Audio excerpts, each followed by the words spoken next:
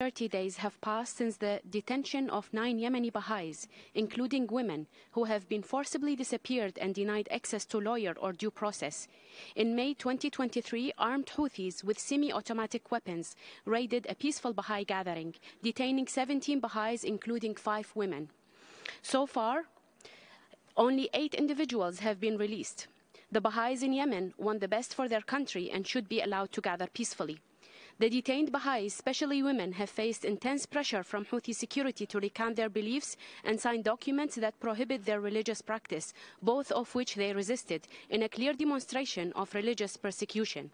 This assault aimed to terrorize Yemeni Baha'is and plant fear of reprisals that could threaten the Baha'i community's existence.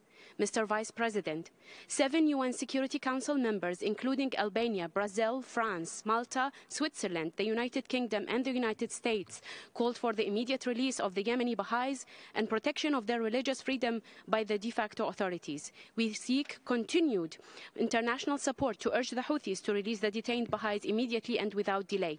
This Council session will be adopting a resolution on Yemen. To convey the international community's disapproval of the Houthis' behavior, it must explicitly include a reference to freedom of religion or belief and mention the rights of the Baha'is by name. For this, I thank you.